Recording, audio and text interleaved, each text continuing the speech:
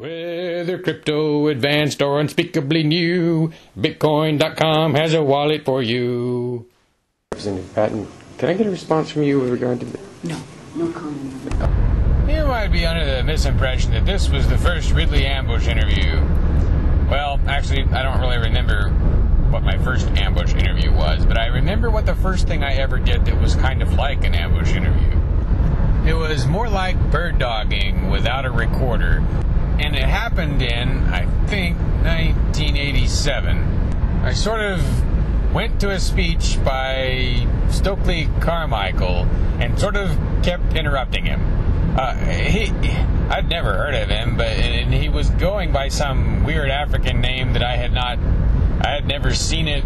Like it, they never displayed his name, Stokely Carmichael. I, would, I guess I had heard of Stokely Carmichael, but I had not heard of whoever he was claiming he was at the time he was giving the speech.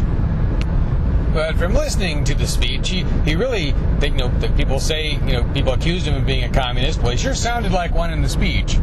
Uh, but what struck me during my heckling was how tolerant they sort of were of it.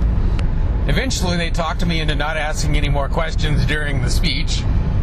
No one threatened me or anything. He answered some of my questions.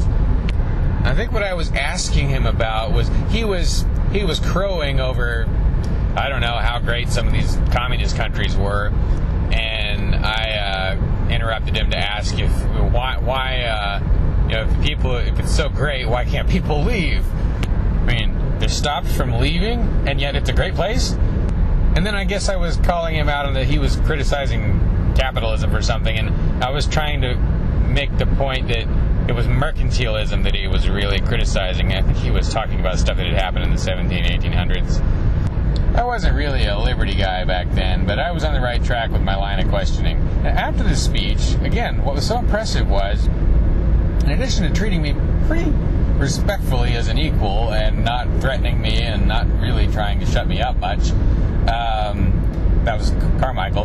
The the the local communist community. It, I, I, was at the university at the time, uh, I, and, and, there was a small communist contingent at uh, Norman, uh, where I went to school, the University of Oklahoma. And they came, some of them came up to me, and they were really nice. Shook my hand, you know, just had a nice, polite discussion with me. Uh, a conservative gal, probably, or at least one who, you know, agreed with me, came up and uh, thanked me for my point or said she agreed with it. I really should have taken advantage of that that situation. I sort of let her get get away from the room, but um, without asking her out. When you listened to Carmichael speak, it, to me it seemed kind of an ugly thing. He had this sort of nasty demeanor, and yet, on the other hand, he treated me as an equal, even though I was only about 19.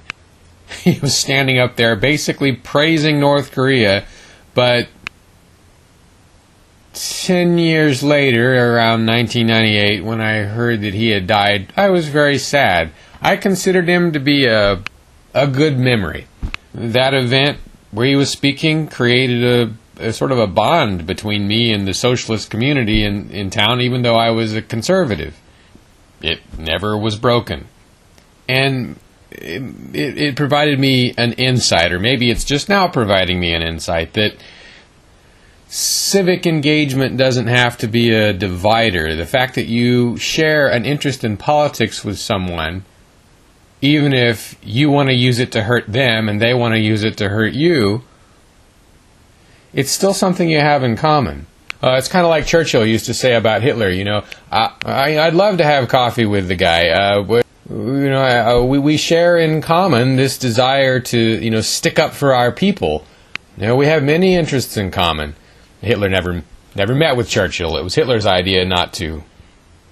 But there's just something about people who are who care about what's going on, whether no matter how wrong they are, uh, that gives them value as human beings maybe not enough to give them a, a net positive value, but it it's there and it's worth acknowledging.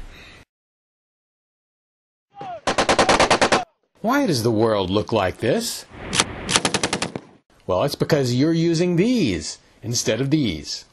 Admittedly, so am I sometimes.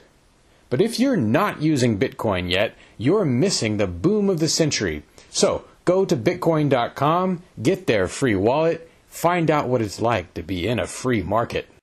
Whether crypto, advanced, or unspeakably new, Bitcoin.com has a wallet for you.